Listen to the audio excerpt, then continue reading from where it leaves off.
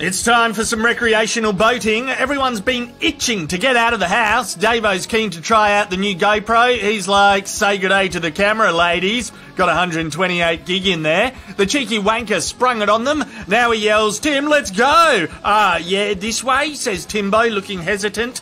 Belinda's facial expression says, I wonder if this dickhead has ever driven a boat.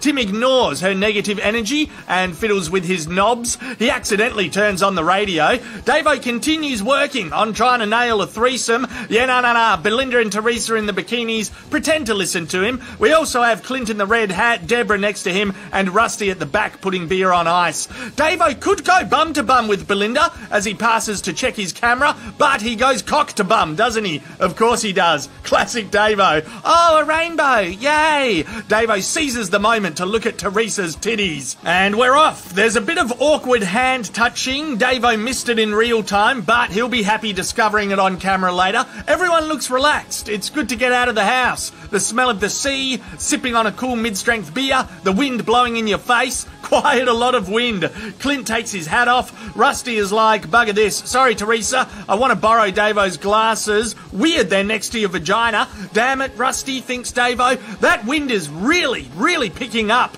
There's mild concern creeping across Teresa's face. She is questioning the boating credentials of Timbo. She is. Let's not lie. He's hitting every single bump. Even Timbo himself is looking concerned at Timbo. He's projecting lots of why isn't the boat slowing down vibes. Rusty is fighting for a hand grip. He broke Belinda's nail. I'm not even stereotyping. That is a broken nail reaction and it hurts. Davo's getting off on it. Teresa wants to see it. Belinda yells, You're not my real mum! Back off! Crikey Moses. Meanwhile, the boat is getting exponentially faster. No one looks relaxed. They came out for a peaceful cruise on the lake, and it's turned into the Willy Wonka chocolate river ride, minus the chicken decapitation. Clinto and Davo are sitting down, perhaps about to have a spew, maybe spewing already. Someone's gonna spew. Oh, Clinto gives a thumbs up back there. Belinda's in a lot of pain and wants to go home, I reckon. Rusty looks underconfident for the first time. Tim shows no emotion as he loses more and more control.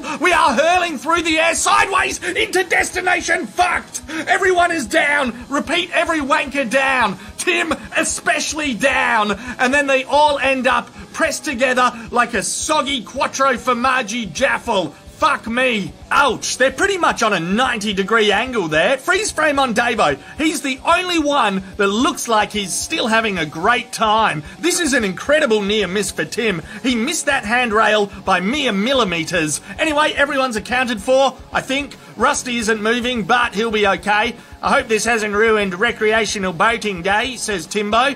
It has. Absolutely it has. Replies everyone. Yeah, no, yeah, the GoPro is the only one that's uninjured.